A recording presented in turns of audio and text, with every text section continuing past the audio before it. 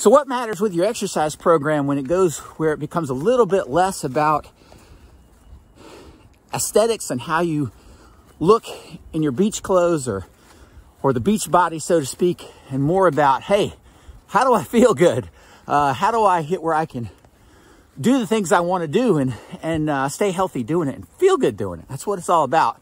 It becomes more and more important, and I would argue that's how fitness programs uh, and your exercise programs and the things that you put time in uh, should really impact you, should, should help you to feel better. Well, what's the difference? Unfortunately, most exercise programs are based on overall principles that were built in bodybuilding principles. So in other words, like training your biceps, isolating certain muscle groups. But that's not really how, how it works in terms of what's important. What's important is how well you move, uh, and that takes a collection of mobility, strength, core, ability to hold your posture, know what all that looks like.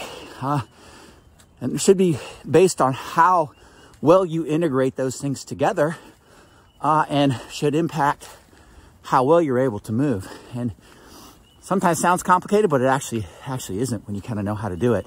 Uh, so it's having the the foundational principles be built around movement skill uh, and have enough of what you need for your body and training it uh, to make a difference. So anyway, that's how you make uh, something have a little more impact on how you feel on a daily basis and what you can really do. So anyway, guys, thanks for listening and everybody uh, keep on thriving and uh, have a great day, guys. Bye.